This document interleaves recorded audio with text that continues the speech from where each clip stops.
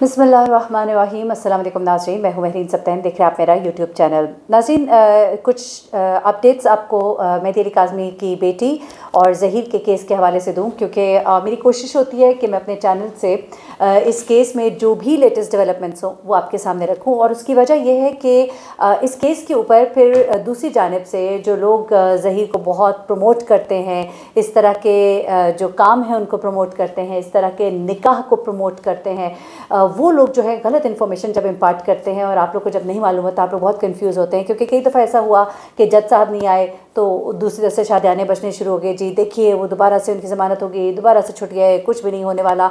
आप लोगों को कन्फ्यूज़ किया जाता है। सबसे पहले मैं आपको दो चार चीज़ें बताती चलूँ आसान से अल्फाज में कि बेसिकली पाँच दरख्वास्तें थी, ये इकट्ठी कर दी गई। अब चूँकि अदालत के अंदर रिपोर्टर्स नहीं जा सकते तो फिर मालूम तभी होता है जब अदालत जो है वो बर्खास्त होती है और उसके बाद जब वकील साहब और जो अंदर मौजूद होते हैं, लोग बाहर आते हैं, फिर वो जो चीज़ें बताते हैं तो उन चीज़ों से चीज़ें जो है वो क्लियर होती हैं। लेकिन जब रिपोर्टर हजरात अंदर होते हैं तो उससे बड़ा फ़ायदा होता है। शायद हुसैन भाई जो है, वो बड़ा अच्छा कोर्ट के अंदर से इस केस को रिपोर्ट कर रहे हैं। एक एक चीज़ को बड़े अच्छे से वो जब रिपोर्ट करते हैं तो वो ये भी बताते होते हैं कि क्या जज साहब ने कहा, क्या उनके रिमार्क्स थे, किस बात के ऊपर उनके आईब्रोज अप हुए, किस बात के ऊपर उन्होंने टोका।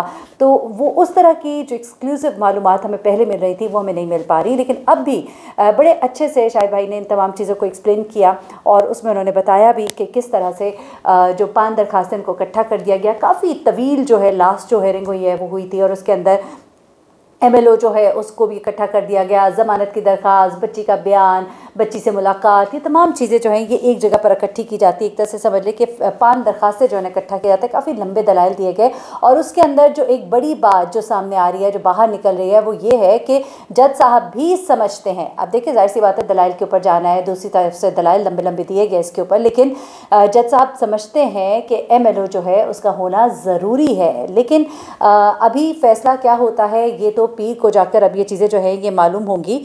और जो मूविया से मुलाकात है जहीर की। उस बारे में जो जबरान नासिर का एक स्टांस है क्योंकि पूरा केस ही डिस्टर्ब हो जाता है। एक शख्स जो कि मुलजिम है एक शख्स जो कि ये गलत काम करने वाला है एक शख्स जो कि वर्गलाने वाला है। जब ये बात भी मान ली जाती है कि बच्ची जो है माइनर है ऐसे में उस शख्स का उस बच्ची से मिलना गोया इस केस को टेम्पर करने के मुतरदफ होगा। गोया उस बच्ची को आ, किसी भी तरह से कुछ भी सिखाया जा सकता है पढ़ाया जा सकता है। तो ऐसे में आ, ये चीज़ जो है ये बड़ी ही गलत हो जाएगी। इस चीज़ के ऊपर भी दलाइल दिए गए काफ़ी और बड़े लंबे लंबे दलाइल दिए गए। 164 के बयान के हवाले से मैं आपको एक बात बताऊँ 164 का बयान दोबारा हो सकता है, हो सकता है। लेकिन इस बात पर दलाइल दिए गए कि 164 का बयान कई बार हो चुका है बार बार बयान वही है, उसमें कोई नई चीज़ नहीं है।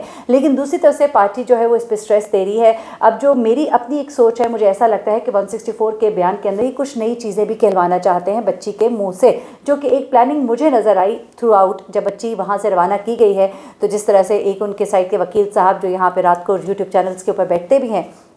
उनका ये कहना था कि बच्ची ने मुझे पता नहीं क्या क्या बता दिया और पता नहीं क्या क्या कह दिया। वो बच्ची जो कब से वहाँ मौजूद थी और उससे पहले उसने कभी इस तरह का कोई जेस्टर नहीं दिया, उसने कभी इस तरह की कोई बात नहीं की। और कोई इस तरह का उसकी तरफ़ से पॉइंट ऑफ़ व्यू नहीं रखा गया, लेकिन अब नई नई बातें उसके मुँह में डालकर, कुछ नई बातें जो है शायद नोट करवाने की कोशिश की जा रही है, लेकिन ये बेहतर जज साहब जानते हैं कि वो क्या चाहते हैं इस बारे में और वो क्या सोचते हैं इस बारे में। तो काफ़ी लंबे दलाइल दिए गए एमएलओ के ऊपर जबरान नासिर ने बहुत सारी बातें की और बहुत से इसके ऊपर दलाइल देते रहे वो मुसलसल और काफ़ी एक दबाव जो है वो कहा जा रहा है कि कुछ शख्सियात जो है इस केस पर डालने की कोशिश कर रही हैं। लेकिन देखिए देखते हैं कि इस केस में कितना एक दबाव जो है वो लिया जाता है। अब कुछ चीज़ें जो है मैं आपको बता देती हूँ कि क्या लेटेस्ट डेवलपमेंट्स हैं इस केस के अंदर। क्योंकि कन्फ्यूज़न क्रिएट करने की जो कोशिश की जा रही है जबरान नासिर ने भी कुछ बातें बताई। मैं उनमें से कुछ चीधा चीधा आपको बातें से फिर से बताना चाहती हूँ कि आप लोग का जहन ज़रा सा क्लियर हो जाए। आ, सबसे पहली बात तो यह है उन्होंने आ, जो कबल अज गिरफ्तारी की बेल की समात थी और एमएलओ की दरख्वास्त थी इन तमाम चीज़ों के ऊपर उन्होंने ये कहा कि सबसे बड़ी बात यह है कानून में एक चीज़ होनी चाहिए कन्फ्यूज़न बहुत ज़्यादा है। दूसरी पार्टी उन्होंने कहा कि तवातर से ये काम कर रही है कि बस वक्त गुजर जाए, एक महीने से ऊपर हो गया है, वक्त जो ये मुलजिम की तरफ़ से लिया जा रहा है एक तरह से ताखिरी हरबेज केस को ख़राब करने के। ये बहुत ही इंपॉर्टेंट पॉइंट है जिसको आप इस वक्त नोट कर लें। उसके बाद दूसरी बात जो है वो ये है कि एमएलओ पर बहस हुई ज़ाहिर सी बात है, जो कि मैंने आपको बताया और उन्होंने ये कहा, जबरान नासिर ने, कि बहुत मुख्तर मामला है, हमने इसको एक्सप्लेन भी किया है और दूसरी साइड की पार्टी का हक ज़रूर है। उनका जो बड़ा ग्रीवियंस है, जबरान नासिर कहते हैं, वो ये है कि एम की दरख्वास्त हमारी थी, वक्त इस पर लग रहा है, लेकिन वक्त जो है, वो लगने की वजह से काम ख़राब भी हो रहा है। सोमवार तक के लिए मामला जो चले गए हैं एमएलओ पर इस पर बात होगी सोमवार को, और बेल पर भी बात होगी, और तब ही चालान भी तय पाएगा। यानी कि सोमवार का दिन जो है that is very very important ठीक है? और उनका ये भी कहना था कि प्रोसिक्यूशन चाह रहा है कि एमएलओ हो जाए, और प्रोसिक्यूशन ने हमारे दलाइल को सपोर्ट किया है।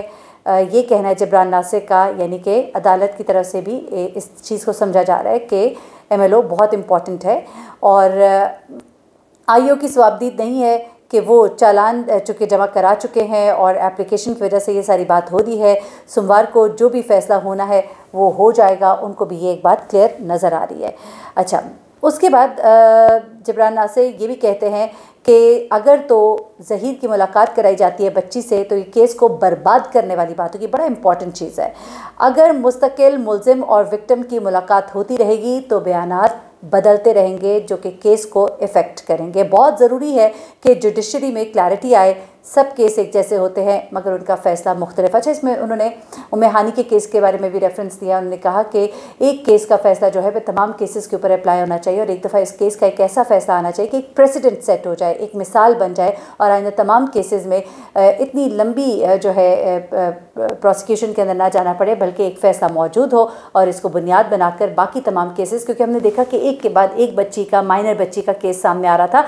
तो आज मेहदी अली काजमी की बेटी का केस जो है वो डिटर्मिन करेगा कि बाकी केसेस के फैसले क्या होंगे। तो this case is very very important मैं समझती हूँ पाकिस्तान की जुडिशरी के लिए एक इंपॉर्टेंट चैलेंज है और एक ऐसा केस है जिसने आगे जाकर इन चीज़ों को डिसाइड करना है। ठीक है? अब आगे चलते हैं। उन्होंने ये भी कहा कि जजेस को बिल्कुल भी मीडिया की तरफ़ नहीं देखना चाहिए और बिल्कुल इसको बंद करके मीडिया को, तमाम ये जो बातें दाएँ बाएँ हो रही हैं सब चीज़ों को बंद करके, और मैं भी समझती हूँ बिल्कुल ऐसा ही है, क्योंकि मुझे याद है कि पीछे जज साहब ने ये बात की कि बहुत ज़्यादा मीडिया के ऊपर इन चीज़ों को डिस्कस किया जा रहा है। हमारी भी फैमिलीज़ हैं, हमारे बच्चे जो है वो इस पर सवाल करते हैं, हमारे घर में इन सवालों को उठाया जाता है।